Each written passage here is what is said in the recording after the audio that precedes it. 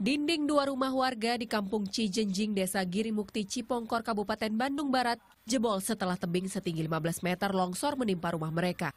Selain material tanah longsor, pohon-pohon yang berada di sekitar tebing pun tumbang masuk ke dalam rumah. Kejadian longsor ini terjadi dua kali.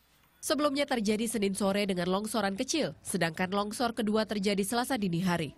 Longsor langsung membesar dan merusak dua rumah yang ada di bawahnya. Nimpah ini dapur. Terus yang sebelah itu nimpah rumah ada saya. Ruang keluarga semua. Yang tertimpa dua rumah, yang yang punya ibu ja- dan ini adik saya.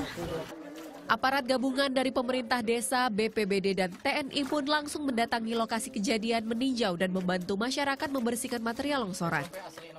Tidak ada korban jiwa dalam peristiwa tersebut, namun kerugian ditaksir mencapai puluhan juta rupiah dan empat rumah lainnya terancam karena 32 kampung yang ada di desa Girimukti, enam di antaranya rawan bencana longsor.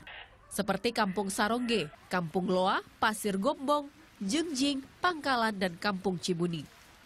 Sementara itu, rencana membangun plengsengan belakang rumah dua warga di Kota Batu, Jawa Timur justru tertimpa musibah.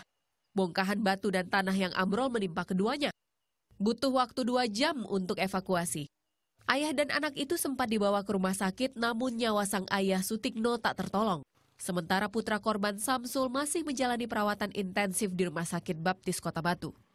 sudah mendapat galian satu meter lebih itu ya gak tahu namanya musibah disuruh berhenti sama istrinya sama tetangganya sama rekannya masih ngerjakan tahu taunya terus langsung ada longsoran tanyanya langsung longsor Untuk menghindari bertambahnya korban akibat longsor susulan, polisi memasang garis pembatas agar warga tidak mendekat di lokasi kejadian. Jenazah korban akan dimakamkan Rabu pagi di pemakaman umum setempat. Jimmy Martino, Tutus Sugiarto, melaporkan untuk NET.